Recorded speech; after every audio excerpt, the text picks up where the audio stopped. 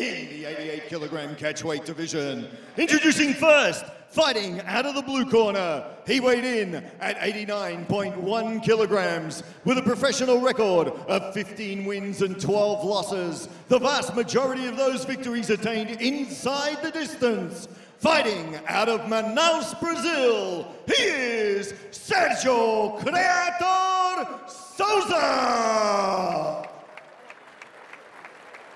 And introducing his opponent, fighting out of the red corner, this man is the number one ranked MMA middleweight in Europe with an official weight of 88.5 kilograms and a professional record of 16 wins and 3 losses. He fights out of the UFD gym in Dusseldorf, Germany. Ladies and gentlemen, he is Abusupiyan Abus Magomedov.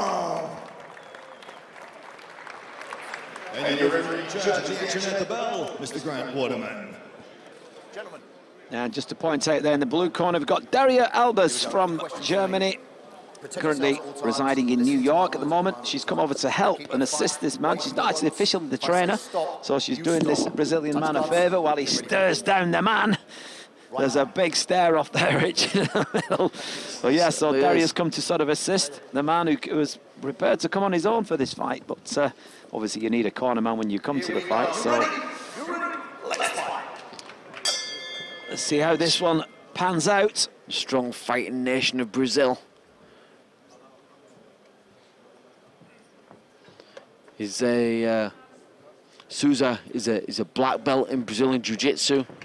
Magomedov has had a lot of knockouts with striking, so it's your typical MMA mix and matchup of styles with the striker against the grappler. Some ferociousness behind that left hook. Yeah, you can see the uh, the Muay Thai stance and skills there coming from there. The low kick goes in, famous Dutch trademark. But as you said, we've got the the amazing Ivan Hippolyte, one amazing Thai and kickboxing fighters from the Netherlands, from Holland in the corner, but now currently in Dusseldorf, Germany. Oh, Superman, a flying punch there. Strong some, strikes coming in early doors. Some heavy hits, and, and Souza is already looking a little bit concerned about the power of some of those shots. He knows that he has to be closing that distance down. No. He took a shot there.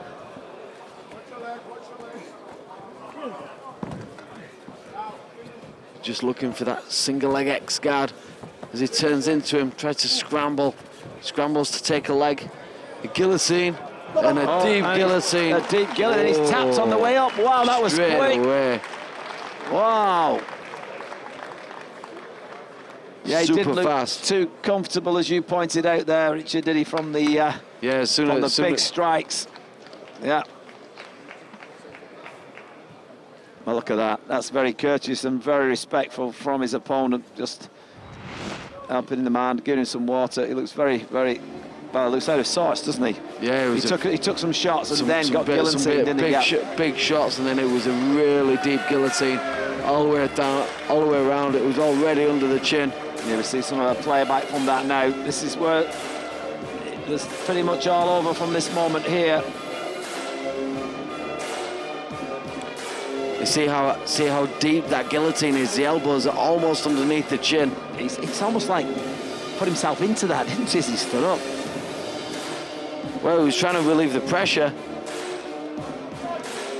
But his hands, are, hands were already kind of prepared, prepared to tap. Probably because of the deepness of the choke.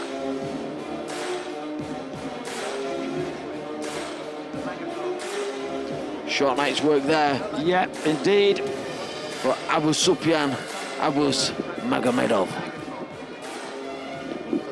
Well, Magomedov is looking very happy there with himself, understandably, because a very fast, emphatic win. An official at the time.